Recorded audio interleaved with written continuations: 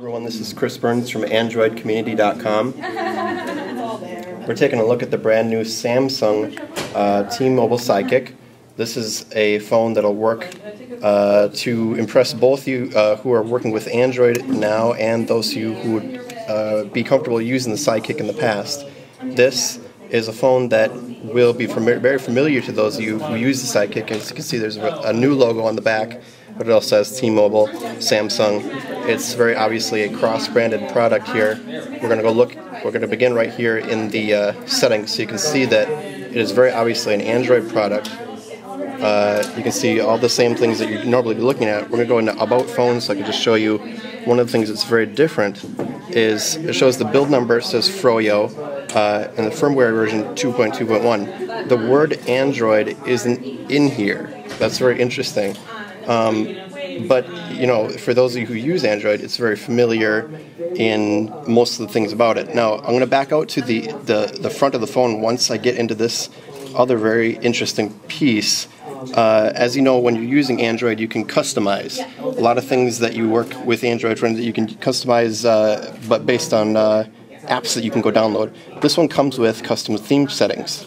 Uh, if we go in here, like here, you can see it comes with several very bright, uh, insane different settings you can have here. Uh, we're going to go straight over to, let's go ahead and go to Funkylicious. And it should go right out to the front. And there you have it. Uh, this screen, obviously, it turns. Turns like that. Um, and I'll, let me put it back down so you can see that pop out again. Now, it pops out very easily. Uh, the hinge is very much made to be one way or another.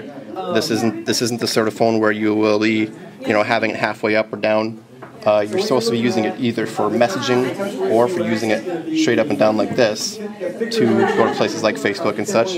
Uh, immediately, you'll see that there's several different places you can go: contacts, apps, or phone. Now, phone is something that isn't all that often seen on Android except for out of an app. Now, when you are looking through these screens, you can see that it's uh, once again very much an Android device, but right right when you realize that there's um, things like you go to apps, it's again it's got very obviously has a T-Mobile uh, user interface uh, blocked over it. Uh, here's another unique bit: is the cloud texting. This isn't active yet because they don't have it uh, ready for us to take a peek at yet, but this is the sort of thing you're going to be able to text from all your different devices. You're going to be able to go through your web, your laptop, your tablet, and the, your Sidekick, obviously. Um, let's go back out here again. Your contacts are very integrated into the system. We have to look at that a little bit. Go to groups, or history. Oops, let's back out here. Oops. History, updates. Now, a lot of these things aren't going to be very active because this phone isn't actually uh, ready to go out the gate quite yet. But um, beyond that, it's basically an Android powered phone made to message. We're taking a look at the hardware here. Uh, what what the difference is between these two models is very uh, a small amount of difference. Inside the machines, they're going to be basically exactly the same. But um, once you flip them out, you'll see that uh, you flip them backwards, and they're just a little bit different with the color.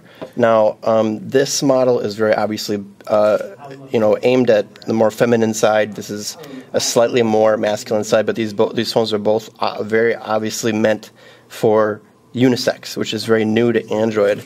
Uh, one of the things that's happened with Android as of late, especially with things like the Xoom, is that people are deciding that it's aimed mostly at uh, you know young males, such as you know myself. Um, one of the things you'll notice here is once you get into things like apps, uh, there is a custom UI here, but um, you're going to be able to go.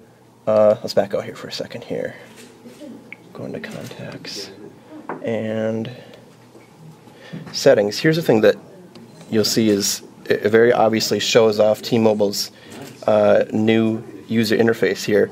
It shows uh, these main settings: contacts, Google Search Gallery, cloud texting, phone settings, Media Hub, and Market.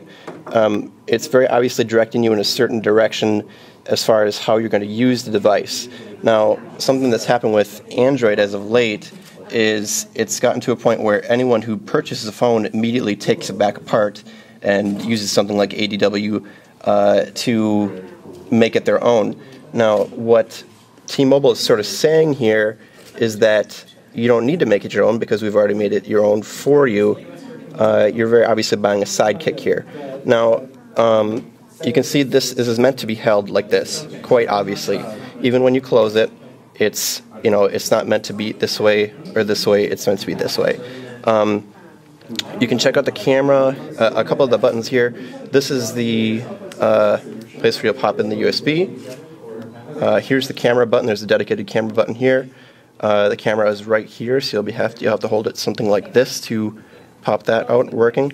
Uh, you're not going to be able to. It won't make sense to use this to take photos with it. Um, but you know, obviously, okay, uh, this is one of the things where we're not going to be able to use it because it's not quite ready to go yet. But you know, you can get around like this, flip up and down like that, and it's very obviously made to be held very comfortably like this. There you have it.